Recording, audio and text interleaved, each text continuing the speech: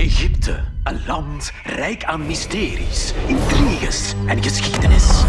Een soort van poort naar het hiernamaals. Een wereld van mummies onder de grond.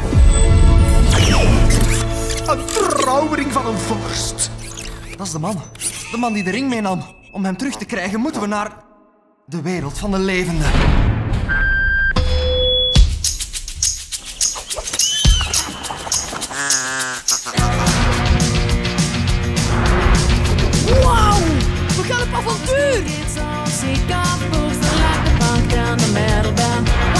Dat is zo mooi.